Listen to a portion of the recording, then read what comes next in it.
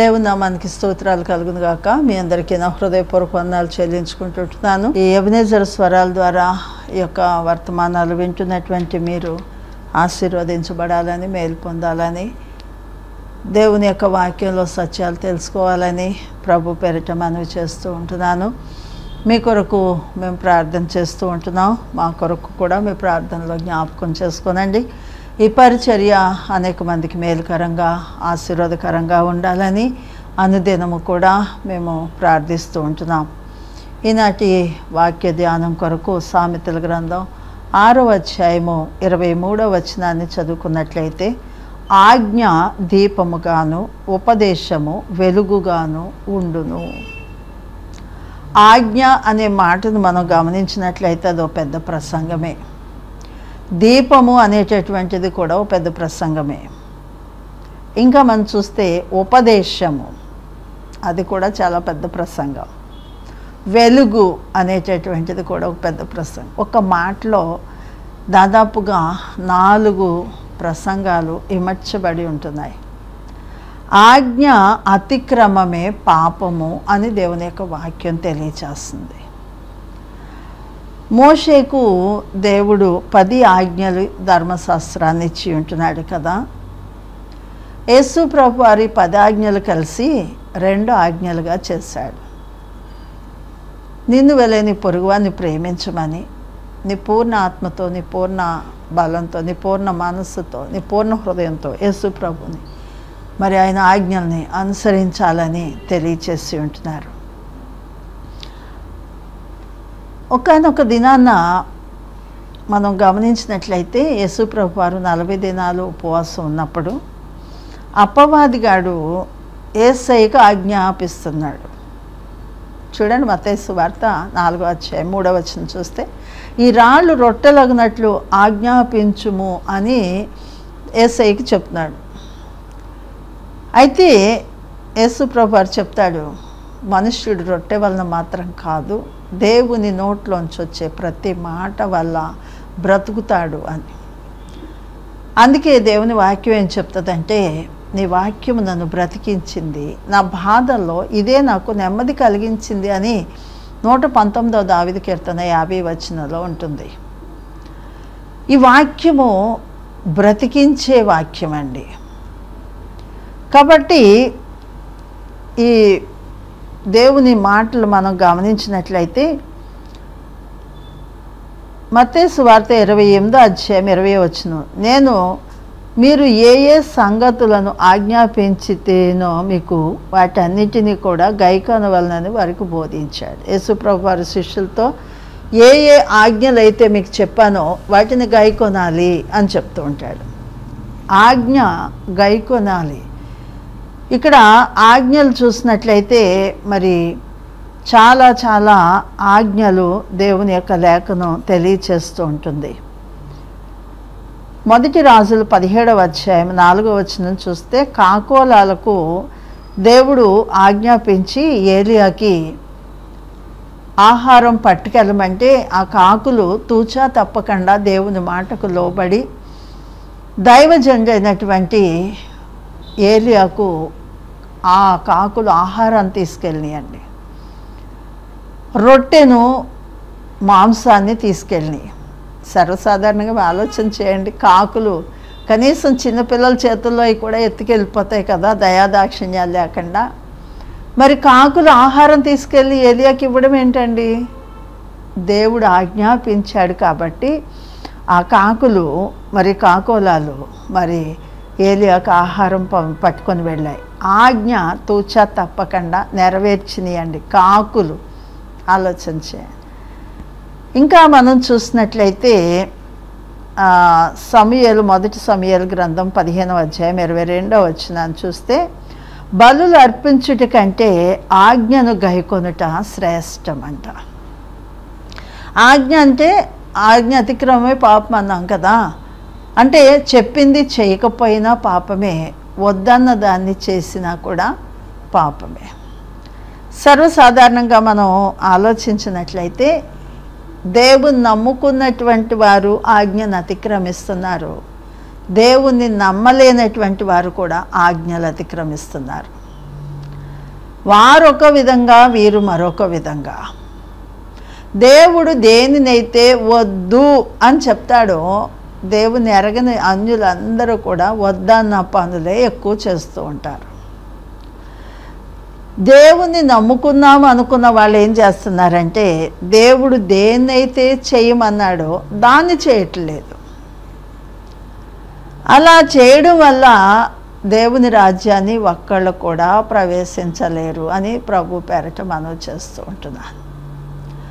ఎవరైతే ఆయన చెప్పినట్టు చేస్తారో వారు మాత్రమే దేవుని రాజ్యంలో ప్రవేశిస్తారు. ఆయన ఆజ్ఞలు పాటించడమే మరి శ్రేష్టం అనేటటువంటిది. బలులు అర్పించుట కంటే బలులు అర్పించడం చాలా తేలిక కానీ బలిని కోరినట్లయితే నేను ఇస్తాను అని చెప్తున్నాడు దావీదు. నువ్వు బలిని కోరట్లేదు. విరిగి నలిగిన హృదయాన్ని నువ్వు కోరుకుంటున్నావు. అది మీకు కావాల్సినటువంటి బలి అని చెప్తూ ఉంటున్నాడు. కాబట్టి ఇక్కడ దేవుని యొక్క లేఖనాన్ని మనం జ్ఞాపకం చేసుకున్నట్లయితే నోవాహుకు కూడా దేవుడు ఒక చక్కటి ఆజ్ఞనిచ్చినట్లుగా చూస్తాం. ఆది కాండం ఆరో అధ్యాయము ఇరవై రెండో వచ్చినని చూస్తే మరి నోవాహు దేవుడు ఆజ్ఞాపించినది యావత్తు కూడా చేసినట్లుగా మనం చూస్తున్నాం. ఏ ఒక్కటి విడిచిపెట్టకుండా చెప్పింది చెప్పినట్టు చేశాడు. కాబట్టి తాను తన కుటుంబం కూడా ఆ భయంకరమైనటువంటి జల ప్రళయంలో రక్షించబడ్డారు అనే విషయాన్ని గమనించవలసినటువంటి వారమై ఉంటున్నాం. ఇంకా మరి దేవుని మాటలు మనం జ్ఞాపకం చేసుకుంటే ఆజ్ఞ అంటే ఏంటి అంటే రెండవ వ్యవహాను పత్రిక ఆరో వచనం చూస్తే మనం ఆయన ఆజ్ఞల ప్రకారం నడుచుటయే ప్రేమ అని. దేవుణ్ణి ప్రేమించటమే ఆయన ఆజ్ఞలు నెరవేర్చడం అనేటటువంటి విషయాన్ని తెలియచేస్తూ ఉంటున్నాడు కాబట్టి ఆజ్ఞ దీపముగాను అంటున్నాడు. దీపము అనే మాటను మనం గమనించినట్లయితే ఎవరైనా దీపం వెలిగించి కొంచెం కింద మంచం కింద పెడతారా? అది దీపస్తంభం మీద పెడతారు. ఎందుకంటే ఆ ఇంట ఉన్న వారందరికీ వెలుగునిస్తుంది కనుక అని దేవుని యొక్క లేఖనం మత్తైసు సువార్త ఐదో అధ్యాయం పదిహేనవ వచనంలో ఆ మాట వ్రాయబడి ఉంటుంది. ఇంకా లోకాసు సువార్త ఎనిమిది పదహారులో మార్కు సువార్త మూ నాలుగో అధ్యాయం ఇరవై ఒకటో వచనంలో కూడా ఈ మాటను ప్రస్తావిస్తూ ఉంటారు. అయితే ఈ దీపము అనేటటువంటిది మనం జ్ఞాపకం చేసుకున్నట్లయితే ఎంటనున్న వారందరికీ వెలిగివ్వడానికి దీపస్తంభం మీద పెడతారు. కొంచెం కింద మంచం కింద పెట్టరు. దేవుడు మనల్ని వెలిగిస్తే మన వెలుగు ఎవ్వరికీ అందకుండా. చాలామంది దేవుని నమ్ముకున్నారన్న సంగతే ఇంట్లో వాళ్ళకి తెలియకుండా. ఈద్లో వాళ్ళకి తెలియకుండా. ఎవరికి తెలియకుండా. రహస్యంగా భక్తి చేసేటటువంటి వారు ఉన్నారు. మరి వారి వెలుగు ఎవరికి అందుతుంది? ఇంకా కొంతమంది ఏం చేస్తున్నారంటే కొంచెం కింద మంచం కింద పెడుతున్నారు. దేవుడు వారిని రక్షించుకుంటే కొంచెం అంటే వ్యాపారాల్లో పెడుతున్నారు. మంచం కింద అంటే సోమరితనానికి సాదృశ్యం. వారి రక్షణ ఎవరికి ప్రయోజనకరంగా లేకుండా ఉంటుంది. అలా కాకుండా దావీద్ అంటాడు పద్దెనిమిదో అధ్యాయము కీర్తనల గ్రంథం ఇరవై ఎనిమిదో వచ్చిన నా దీపం వెలిగించువాడవు నీవే. ఆయన వెలిగించినటువంటి ఆ దీపము అనేక మందిని వెలిగించాలని దేవుడు కోరుకుంటుంటున్నాడు. ఒకప్పుడు ప్రభు నాకు ఒక దర్శనాన్ని చూపించారు. ఒక క్యాండిల్ పట్టుకొని ఉన్నాను నేను నా క్యాండిల్ వెలుగుతూ ఉంది. నేను అంతకుముందు ఒక ప్రార్థన చేశాను. ఏం ప్రార్థన అంటే ప్రభు నన్ను సువార్తకు పిలిచినప్పుడు నేను ప్రభువుని గురించి ప్రకటిస్తున్నప్పుడు నాకు ఒక ఆలోచన వచ్చింది. యేసు ప్రభు మరి ఇద్దరిద్దరు చెప్పును పంపించాడు కదా సువార్త ప్రకటించడానికి. అది పురుషుల్ని. మరి నన్ను ఒక్కదాన్ని సువార్త ప్రకటించమని పిలిచాడు ఎందుకు? అని చెప్పేసి నేను ప్రభు సన్నిధిలో భారంతో ప్రార్థన చేస్తూ ఉన్నాను. అప్పుడు ప్రభు నాకు ఈ దర్శనాన్ని చూపించారు. ఒక క్యాండిల్ పట్టుకొని ఉన్నాను అది వెలుగుతూ ఉంది. నా చుట్టుప్రక్కల చాలా క్యాండిల్స్ కనపడుతున్నాయి. ఒక్కొక్కళ్ళు ఆరిపోయిన క్యాండిల్స్ ఒక్కొక్కళ్ళు వచ్చి ఆ క్యాండిల్ పట్టుకొని వెలిగించుకొని వెళ్తున్నారు. అప్పుడు ప్రభు నాకు తెలియచేసింది ఏంటంటే నా దీపం వెలుగుతూ ఉంటే అనేక మందిని నేను వెలిగించగలను. నా దీపమే ఆరిపోతే నేను ఎవరిని వెలిగించడానికి పనికిరాను అనే విషయాన్ని గ్రహించి ఉంటున్నాను. కాబట్టి నా దీపం ఆరిపోకుండా ఉండడానికి నేను చాలా ప్రయత్నాలు చేస్తూ ఉంటాను.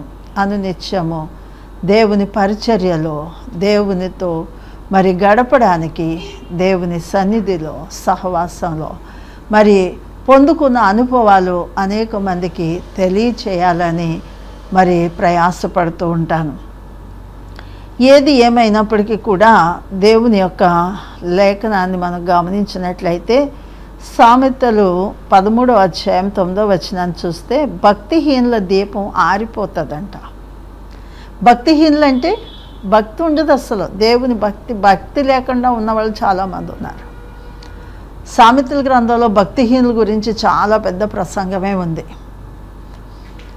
కొంతమందికి భక్తి ఉంటుంది కానీ ఏదో ఒకళ్ళండి అంటూ ఉంటారు. అది కూడా కరెక్ట్ కాదు. ఇక్కడ దేవుని యొక్క లేఖను భక్తిహీనుల యొక్క దీపం ఏమైపోతుందటండి? ఆరిపోతుంది. అంటే ఆరని అగ్నికే వారు మరి సిద్ధపరచబడతారు. అందుకే వారు భక్తిహీనులుగా ఉన్నారు. కొంతమందిని పరలోకానికి కొంతమందిని నరకానికి దేవుడు ముందుగానే నిర్ణయించాడు. కాబట్టి ఎంత సువార్త చెప్పినా ఎంతమంది చెప్పినా ఎన్నిసార్లు దేవుని వాక్యం విన్నా వారి జీవితంలో ఎక్కదండి అది వారి అలవాట్లు వారి ఉద్దేశాలు వారి తలంపులు వారి జీవితాన్ని మార్చుకోవడానికి ఎంత మాత్రం కూడా ఇష్టపడరండి. కొంతమందిని మనం చూస్తూ ఉంటాం. వస్తారు ఆకర్షించబడతారు వాక్యం వింటారు వెంటనే పశ్చాత్తాపడతారు పాపాలు ఒప్పుకుంటారు మార్మన్స్ పొందుతారు బాప్తీసం తీసుకుంటారు చక్కగా పాటల్లో ప్రార్థనలో వాక్యంలో సన్నిధిలో సహవాసంలో ఎదుగుతూ రెప్పరెప్పలాడుతూ ఎదుగుతూ ఉంటారు. అలాంటి వారిని చూస్తే ముద్దేస్తుంది. అలాంటి వారిని చూస్తే సంతోషం అనిపిస్తూ ఉంటుంది. అలాగే చెప్పిన మాట వినే బిడ్డలు చూస్తే తల్లిదండ్రులు కూడా సంతోషం అనిపిస్తుంది. వినలేని బిడ్డలు చూస్తే చాలా బాధేస్తుంది. కాబట్టి ఇక్కడ దేవుని యొక్క వాక్యాన్ని మనం గమనించినట్లయితే మరి సామెతల గ్రంథం ఇరవై ఇరవై వచ్చిన చూస్తే తన తండ్రినైనను తల్లినైనను దూషించు అని దీపము కారు చీకటిలో ఆరిపోతుందటండి ఈరోజు చాలామంది పిల్లలు తల్లిదండ్రులు దూషించేవారుగా ద్వేషించేవారుగా తృణీకరించేవారుగా ఉన్నారు. వారు సగం కాలంలోనే లోకాన్ని విడిచి వెళ్ళిపోతున్నారు. ఎంతమంది మధ్యకాలంలో యవనస్తులు ఎంతమంది చచ్చిపోతున్నారు చూడండి. ఎక్కడ చూసినా యవనస్తులు మరణాన్ని మనం చూస్తూ ప్రభు రాకడ అతి సమీపంగా ఉంది. రాజమార్గంలో యవనులు లేకుండా ఇళ్ళలో పసిపిల్లలు లేకుండా మరణం మీ కిటికీలు ఎక్కుతుంది అంటున్నాడు. ఎవరికి వారు? మరి ఈ యొక్క మరణ అనే విషయంలో జాగ్రత్త కలిగి ప్రభువుని కలిగి చనిపోతే దేవుని రాజ్యంలో ఉంటారు. ప్రభువుని నమ్మకుండా చనిపోతే ఆరని అగ్నిలో ఉంటారని ప్రభు పేరట మనవి చేస్తూ ఉంటున్నాను. ఇంకా మరి సామెతల గ్రంథం ఇరవై అధ్యాయం ఇరవై ఏడవ వచ్చిన నరుని ఆత్మ యహోవా పెట్టిన దీపం. ఆలోచన చేయండి. సర్వసాధారణంగా మనుషులు చనిపోయిన తర్వాత వారి దగ్గర ఒక దీపం పెడతారు కదా. అసలు దీపం వెళ్ళిపోయింది. తాత్కాలికమైనటువంటి దీపం పెడతారు. నరుని ఆత్మ యహోవా పెట్టిన దీపం. ఆ ప్రాణాన్ని ఒక దీపంతో పోల్చినట్లుగా కూడా మనం చూస్తూ ఉంటాం. ఇంకా ఏషియా గ్రంథం అరవై రెండో అధ్యాయం మొదటి వచనము. సియోను నీతి దాని రక్షణ దీపము వలె వెలుగుతుంది అంటాడు. ఒక ర- వ్యక్తి రక్షించబడితే వారి దీపం వెలిగించబడింది వారి దేవుని రాజ్యంలో ఉంటారు అనేటటువంటి ఖచ్చితమైనటువంటి నమ్మకాన్ని ఇక్కడ కలగచేస్తుంది మాట. ఇంకా మనం చూసినట్లయితే దానియల్ గారు గ్రంథంలో ఐదో అధ్యాయం ఐదో వచనం చూస్తే దీపం దగ్గర రాజు యొక్క నగరి గోడ పూత మీద ఒక చెయ్యి వచ్చి రాస్తుందట అండి దీపపు వెలుగులో. ఆలోచన చేయండి అది మెనీ మెనీ టెకేలు పార్సన్ అనేటటువంటి అక్షరం. అది ఎవరికీ అర్థం కాలేదు. అది దానియల్ గారికే దేవుడు దాన్ని బయలుపరిచినట్లుగా మనం చూస్తూ ఉంటున్నాం. ఇంకా మనము దేవుని యొక్క లేఖనాన్ని గమనించినట్లయితే మత్తయి సువార్త ఆరో అధ్యాయం ఇరవై రెండో వచనం చూస్తే దేహమునకు దీపము కన్నే కనుక ఆ కన్ను కానీ చెడిపోయిందంటే దేహం అంతా చీకటిమయమైపోతుంది అని చెప్తున్నాడు ఎస్సయ్య చాలామంది కళ్ళు లేని వారు ఉంటారు. కళ్ళు ఉండి కూడా చూడలేని వాళ్ళు ఉంటారు. ఇక్కడ మనం చూస్తే కన్ను చెడిపోతే దేహం అంతా చెడిపోతుంది అంటారు. చాలామంది కళ్ళతో పాపం చేస్తారండి. కళ్ళతో సైకిల్ చేసుకుంటూ ఉంటారు. కళ్ళతో మాట్లాడుతూ ఉంటారు. వారి దేహం అంతా కూడా చీకటి మయమైపోతుందని దేవుని యొక్క లేఖనం తెలియచేస్తూ ఉంటుంది. ఇంకా దేవుని యొక్క మాటలను మనం జ్ఞాపకం చేసుకున్నట్లయితే లూకాసు వార్త పదిహేనవ అధ్యాయం ఎనిమిదవ వచనంలో చక్కటి మాట ఉంటుంది. ఒక ఆమె మరి పది వెండి నాణాలు ఇస్తే అందులో ఒకటి పోగొట్టుకుందంట. పోగొట్టుకొని దీపం వెలిగించి ఇల్లంతా ఓడుస్తుంది అది దొరికినప్పుడు వారు మరి చుట్టుపక్కల వాళ్ళందరినీ పిలిచి సంతోషిస్తుంది కదా. అంటే దీపములో మరి అన్నీ కూడా స్పష్టంగా కనపడతాయి.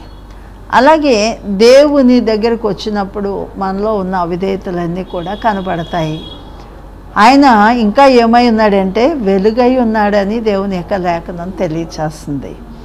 ఇంకా మరి యోహాన్ గారి గురించి చూస్తే యోహాన్ సువార్త ఐదో అధ్యాయము ముప్పై ఐదో వచ్చినని చూస్తే యోహాను ప్రకాశించుచు నా దీపమై ఉన్నాడని చెప్తుంది. ప్రకాశించే దీపంగా ఉన్నాడంట యోహాను. అయితే మరి వెలుగుతూ ఇతరులను వెలిగించాలి అన్నది దేవుని యొక్క ఉద్దేశం. మన దీపం వెలుగుతుంటే అనేక మందిని వెలిగించగలం. మనం రగులుతూ ఉంటే ఇతరులను రగిలించగలం.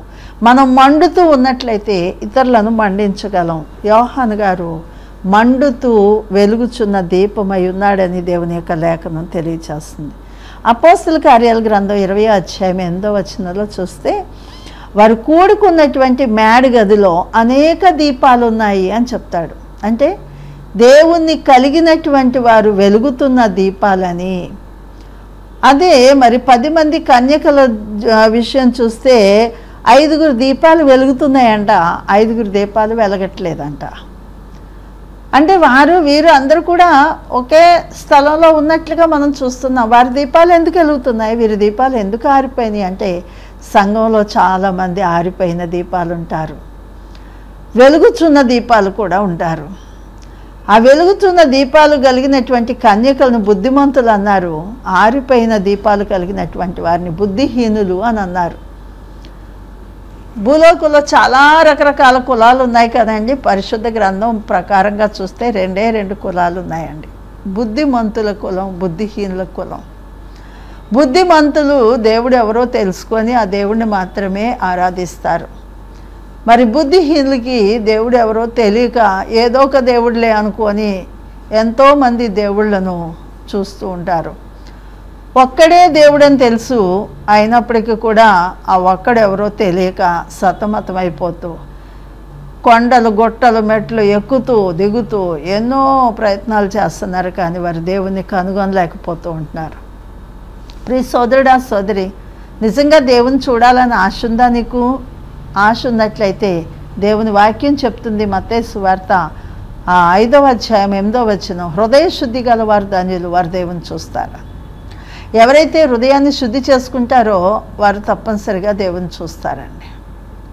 ఒకసారి ఏమైందనంటే ఒక ఆవిడ మరి భార్య భర్తలు ఇద్దరు కూడా ఎన్నో గుళ్ళు గోపురాలు ప్రతి సంవత్సరం తిరిగి చాలా డబ్బులు ఖర్చు పెట్టుకొని వస్తారండి.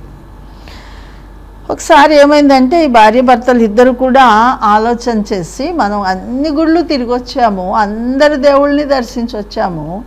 కానీ మరి యేసు ప్రభు గుడికే వెళ్ళలేదు కదా ఆ గుడికి కూడా వెళ్ళొద్దామని చెప్పేసేసి ఆ భార్య భర్తలు ఇద్దరు కూడా గుడికి వెళ్ళారంట. ఆ వీధిలో ఒక ఆవిడ ప్రార్థన చేసే ఆవిడ ఉంది ఆవిడ రోజు వీళ్ళు భార్య భర్తలు ఇద్దరు గురించి ప్రార్థన చేసేది. పిల్లలు లేరు వాళ్ళకి. వాళ్ళకున్న ఆస్త- ఆస్తి అంతా కూడా మళ్ళీ గుళ్ళు గోపురాలు తిరగడానికి రో మరి సంవత్సరం సంవత్సరం కూడా చాలా డబ్బు ఖర్చు పెట్టుకొని తిరిగి వస్తూ ఉంటారు.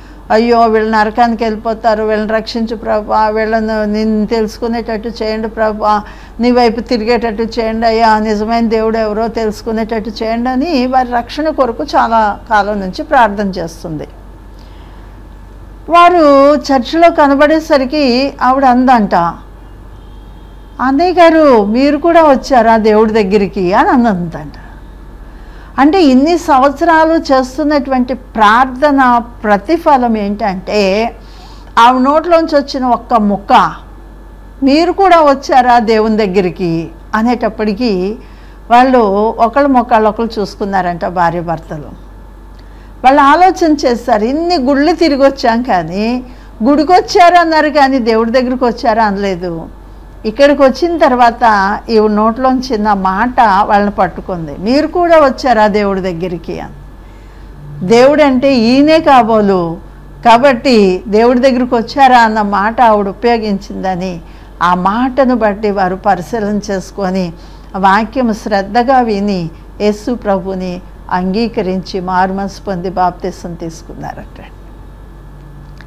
ఆలోచన చేయండి. ఒక వ్యక్తి గురించి మనం ప్రార్థన చేసేటప్పుడు ఆ వ్యక్తి యొక్క క్షేమాన్ని మార్పును ప్రార్థన చేసి మనం ఏదైనా ఒక మాట చెప్పినప్పుడు అది వారికి దీపం వలె ప్రజ్వలిస్తుంది అని దేవుని యొక్క లేఖనం తెలియచేస్తుంది ఇంకా దేవుని యొక్క లేఖనాన్ని మనం జ్ఞాపకం చేసుకున్నట్లయితే ఉపదేశము వెలుగుగా ఉంటుంది అంటున్నాడు.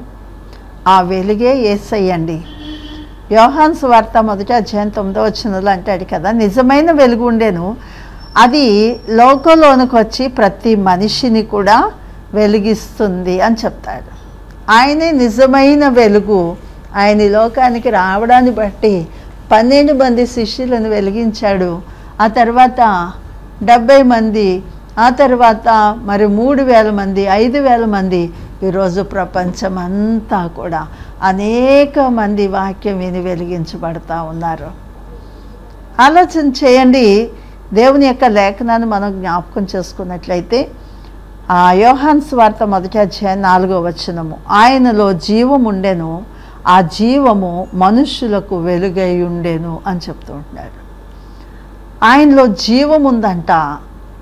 జీవం ఉంది కాబట్టే ఆయన చనిపోయినా తిరిగి లేచాడు మళ్ళీ చనిపోలేదండి.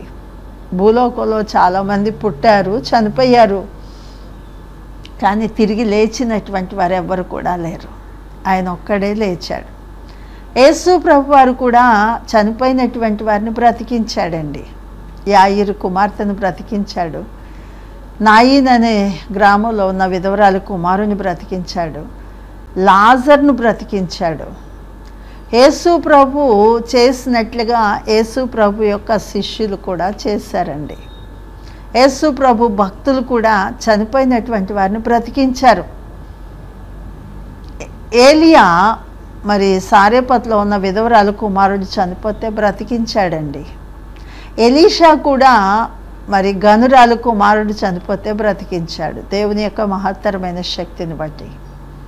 ఇంకా మనం చూసినట్లయితే ఎలీషా ప్రవక్త చనిపోయినప్పుడు ఆ సమాధిలో ఒక సైనికుడు చనిపోతే ఆ సమాధిలో పెడితే ఎలీషా యొక్క శల్యాలు తగిలి ఆ సమా చచ్చిపోయినటువంటి వాడు బ్రతికాడంట. ఇంకా మనం చూసినట్లయితే దేవుని యొక్క వాక్యాన్ని గమనించినట్లయితే మరి పేతురు గారు కూడా తబితమ్మ చనిపోయినప్పుడు ఆ తబితమ్మను బ్రతికించాడు. ఇంకా మనం జ్ఞాపకం చేసుకున్నట్లయితే మరి అపోస్తులైనటువంటి పౌలు కూడా మేడగదిలో ఆ రాత్రి బల్ల ఇస్తున్నప్పుడు ఆ కిటికీలో కూర్చున్న ఐతుకు నిద్రాభారం వల్ల గాఢ నిద్రలోకి వెళ్ళిపోయి కిటికీలోంచి పడిపోయి చచ్చిపోతే ఆ చచ్చిపోయినటువంటి వాడిని పౌలు గారు బ్రతికించారు. ఆలోచన చేయండి. యేసు ప్రభు నిజమైనటువంటి దేవుడు అని చెప్పడానికి ఇంకా ఇంతకంట మంచి కారణాలు ఏమైనా అవసరమా చెప్పండి? ఆయన చనిపోయి తిరిగి లేచాడు. ఇంకా మనం చూసినట్లయితే ఉపదేశము దేవుని యొక్క ఉపదేశాలు ఎంతో పవిత్రమైనటువంటివని అవి నిర్దోషమైనటువంటివని అవి దేవుని ఉపదేశాలని తెలియచేస్తూ కీర్తనల గ్రంథం పంతొమ్మిదవ అధ్యాయము ఎనిమిదవ వచనం చూస్తే యహోవ ఉపదేశములు నిర్దోషమైనటువంటివి అని తెలియచేస్తూ ఉన్నాడు. ఇంకా మరి నూట పంతొమ్మిదవ దావిది కీర్తన నలభై వచనంలో చూస్తే నీ ఉపదేశములు నాకు అధిక ప్రియములు అని చెప్తూ ఉంటారు భక్తులు. అంటే ఆయన ఉపదేశాలు శ్రేష్టమైనటువంటివండి. అందుకే సామెతల గ్రంథంలో చెప్తాడు కదా ఐదో అధ్యాయము పన్నెండవ వచ్చిన అయ్యో ఉపదేశం నేను ఎట్లు త్రోసివేసి తిని? అని చెప్తాడు. ఇంకా ఆరో అధ్యాయం ఇరవై వచ్చింది నీ తల్లి ఉపదేశం త్రోసివేయొద్దు అని చెప్తూ ఉంటాడు. కాబట్టి ఇక్కడ దేవుని యొక్క మాటలను మనం గ్రహించినట్లయితే ఆయన ఉపదేశాలు అదో పెద్ద ప్రసంగం. వెలుగు అనేటటువంటిది ఆయనలో ఉంది. ఆయన నమ్ముకున్నటువంటి వారిని అందరినీ కూడా ఆయన వెలిగించేవాడు. అనేక మందికి అందించేటటువంటి వారిగా. నిజంగా వెలిగించబడినటువంటి వారు. ఆ వెలుగును గురించి చెప్పకుండా ఉండలేరండి. యోహాన్ గారు చెప్తూ ఉంటాడు ఆ వెలుగును గూర్చి సాక్ష్యం ఇస్తున్నాడటండి. చూడండి యోహాన్ స్వార్త ఒకటో అధ్యాయము ఏడో వచనము. అతడి మూలముగా అందరూ విశ్వసించినట్లు అతడు ఆ వెలుగును గూర్చి సాక్ష్యం ఇచ్చుటకు సాక్షిగా యేసు ప్రభు కంటే ముందుగా వచ్చినట్లుగా మనం చూస్తూ ఉంటాం. ఎనిమిదో వచనంలో చెప్తాడు అతడు ఆ వెలుగై ఉండలేదు కానీ ఆ వెలుగును గూర్చి సాక్ష్యం ఇవ్వడానికి వచ్చాడు అని ఆహాన్ని గురించి తెలియచేయబడుతూ ఉంటుంది. ఇక్కడ దేవుని యొక్క మాటలు మనం గమనించినట్లయితే ఈ వాక్యము చదివే కొద్దీ చదివే కొద్దీ చదివే కొద్దీ ఇది జుంటె తేనె దారల కంటే కూడా మధురాతి మధురమైనటువంటిదండి. చాలామందికి వాక్యం చదివితే అర్థం కాదండి. వాళ్ళ మనోనేత్రం తెరవబడలేదు. వారు మనస్సు దేవుని మీద కేంద్రీకరించలేదు. ఏదో చదవాలి కనుక చదువుతున్నారు. బైబిల్ చదివే ముందు ఓ చక్కటి ప్రార్థన చేయండి. దేవునిలో పరిశుద్ధాత్మ ఉంది మనలో ఆత్మ ఉంది. మన ఆత్మ పరిశుద్ధాత్మతో కలిసి ఏకీభవించి ప్రార్థన చేసినట్లయితే అది చెప్పసఖ్యం కాని మూలుగులతో మహిమాయుక్తమైనటువంటి ప్రార్థన వస్తుంది. ఒక్కోసారి ప్రార్థన చేస్తే అసలు ఆ మనసు ఎంత తేలికగా ఉంటుందో ఎంత కన్నీళ్ళు ప్రవాహాన్ని పిలిస్తే చాలు జల జల కన్నీళ్ళు రాలుతూ ఉంటాయి. ఒక్కోసారి ఎంత కన్నీటితో ప్రార్థన చేయాలనుకున్న అసలు ప్రార్థన రానే రాదండి. ఎందుకో తెలుసా? దేవుని ఆత్మతో కలిసి మనం ప్రార్థించినప్పుడు కన్నీటి ప్రార్థన వస్తుంది. దేవుని ఆత్మతో కలిసి మనం వాక్యం చదివినప్పుడు మనకి గూఢమైన సంగతులను ఆయన బయలుపరుస్తూ ఉంటాడు. మన మనోనేత్రాన్ని తెరిచినప్పుడు అవి మనం అర్థం చేసుకోగలం గ్రహించగలం. పరలోకానికి వెళ్ళే దారి కనుక నీకు తెలిసినట్టయితే ప్రియ సోదరుడు ఆ సోదరి ఇంకొకళ్ళకి చెప్పకుండా ఉండలేవు. ఈరోజు చాలామంది క్రైస్తవులు ప్రభుని గురించి ప్రకటించేవారుగా లేరండి. సొంత డప్పాలు కొట్టుకుంటూ బ్రతుకుతూ ఉంటున్నారు. ప్రభువుని గురించి ప్రకటించేవారు ఎవరంటే ప్రభు మార్గాన్ని ఎరిగినటువంటి వారు. ఆయన గురించి చెప్పకుండా ఉండలేరండి. ఆలోచన చేయండి నువ్వెవరికి చెప్పట్లేదంటే ఆ పరలోకానికి వెళ్ళే దారి ఇంకా నీకు దొరకలేదేమో. చదవండి వాక్యం వినండి వాక్యం. ఏ వాక్యం పడితే ఆ వాక్యం వినడం కాదు. విన్న వాక్యం అలా ఉందా లేదా అని పరిశుద్ధ గ్రంథాన్ని పరిశీలన చేయండి. బెరియాలో ఉన్నటువంటి సంఘం ఆ వాక్యం అది కరెక్టా కాదా? అని పరిశీలన చేసుకునేవారంట. కాబట్టి మరి ఈరోజు చాలా రకరకాల బోధలు వింటున్నాము. ఆ బోధలు అలా ఉన్నాయా లేదా? బోధించే వాళ్ళు సరిగా ఉన్నారా లేదా అనేది అర్థం అనేది వాక్యం మనకుంది వాక్యాన్ని బాగా చదవండి అర్థం చేసుకోండి గ్రహించండి. దేవుని రాజ్యాన్ని సంపాదించుకోమని ప్రభు పేరట మనవి చేస్తూ ఉంటున్నాను. ప్రార్థన చేసుకుందాం. సర్వాధికారి సర్వసృష్టికి ఆది సంభూతుడు అత్యున్నతమైన సింహాసనం మీద ఆశ్రయించినటువంటి దేవ ఉన్నవాడు అనువాడనని నన్ను వాగ్దానం చేసినటువంటి దేవ రారాజైన మెస్సయ్య నీకు వందనాలు చెల్లించుకుంటున్నాను. ప్రభా ఆజ్ఞా దీపముగాను నాయన ఉపదేశం వెలుగ్గా ఉంటుందని నీ మాట తెలియచేసిన విధంగా మీరే ఆ వెలుగై ఉన్నారని మీరు మమ్మల్ని వెలిగిస్తారని మేము ఇతరులను వెలిగించాలని ఏ ఒక్కరు కూడా నరకానికి వెళ్ళకుండా అయ్యా అజ్ఞాన కాలంలో చూసి చూడనట్టుగా ఊరుకున్న దేవుడు ఇప్పుడైతే అందరంతటా మార్పు చెందాలని ఎదురు చూస్తున్న దేవుడు కనుక ప్రభు అయ్యా ప్రతి ఒక్కరికి అవసరమైన మాటలు పరిశుద్ధ గ్రంథంలో వ్రాయబడి ఉంటున్నాయి నాయన. అనేక మంది గ్రంథాన్ని చదివి వారు మనోనేత్రాలు తెరవబడి నీ బిడలుగా మార్చబడి నీ సాక్షులుగా జీవిస్తూ ఉంటున్నారు కనుక అందుబట్టి మీకు వందనాలు చెల్లించుకుంటున్నాను. ఈ మాటలు ప్రతి ఒక్కరికి ప్రయోజనకరంగా మేలుకరంగా ఆశీర్వాదకరంగా ఉండాలని ప్రభు పేరిట అడిగి వేడుకుంటున్నాను. పరమ తండ్రి. ఆమె మీ అందరికీ వందనాలు